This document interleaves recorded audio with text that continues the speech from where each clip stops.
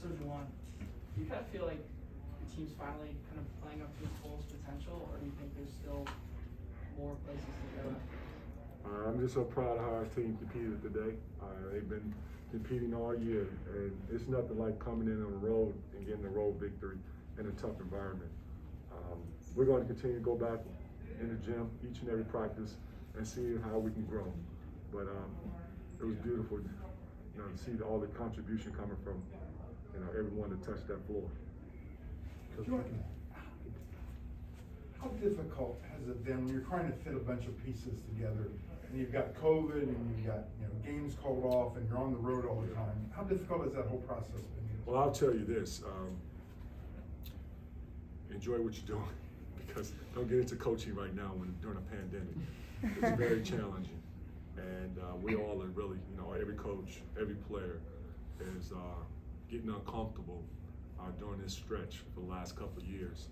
Um, but I'm proud of how our young men have really band together, despite you know a lot of the uncomfortable moments uh, finding ways to stay together, stay positive, and, and enjoying this college experience the best way they can.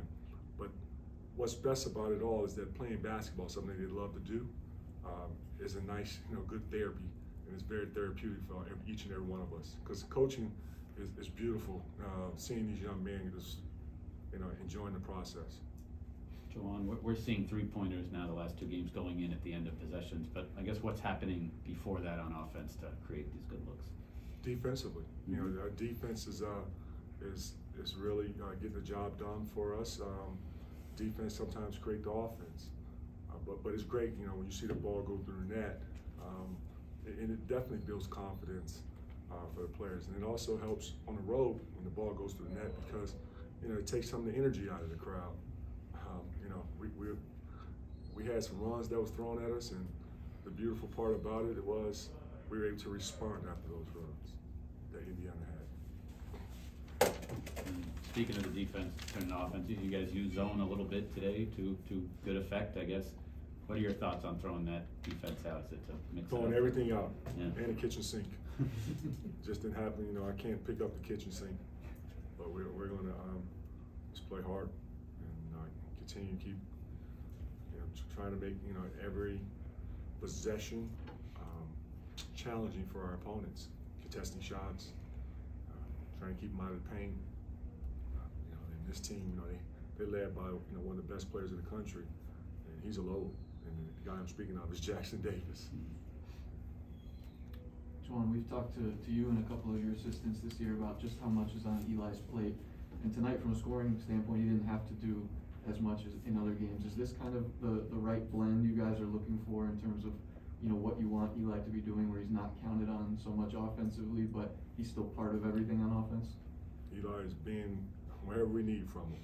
And, you know, with how basketball goes and especially with how our team is designed, um, if you watched us for the last two years, now going on third, you know, there are going to be some times when you see, you know, a guy like Jace have a good game. You're going to see, you know, a guy like, it's going to be Frankie's night. It's going to be Hunter's night. It's going to be Moose's night. It's going to be, you know, Eli's night. You know, that that's how our, you know, team is designed by sharing the basketball. And it's not about just the score on what you put on the scoreboard as far as what shows up on the box score offensively.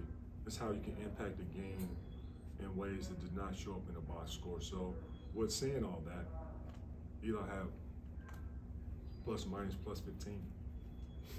Juwan, how crucial was Terrance down the stretch in the first half when we have Caleb, Hunter, and DeVante' on the bench, and then they start making that run, and then he kind of hits those tough shots that kind of Big. hold the momentum. He's big. He's big, man. Um, you know, defensively, uh, offensively came in, uh, stretched the floor, and uh, made some shots from the outside, driving to the basket.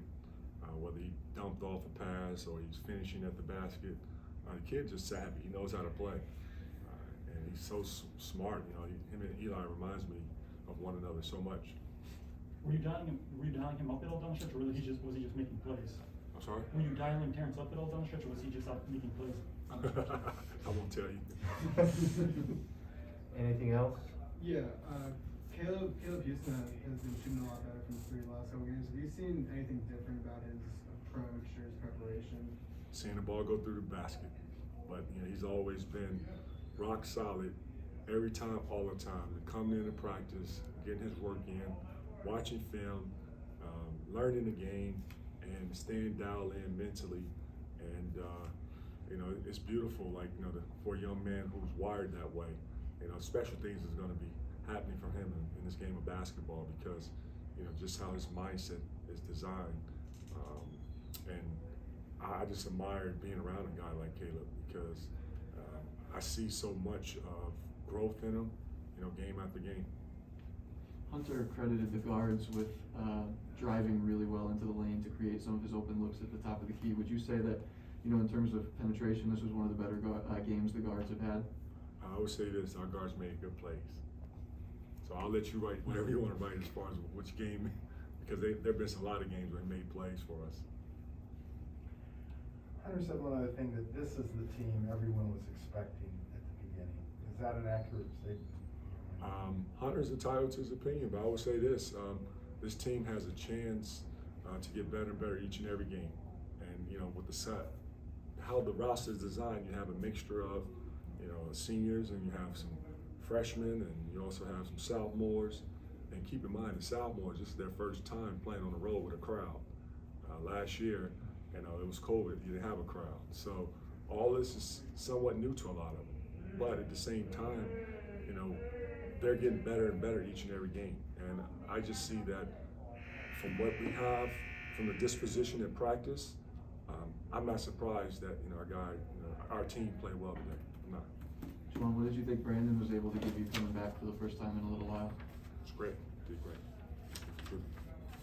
Okay, coach. All right. Thank you.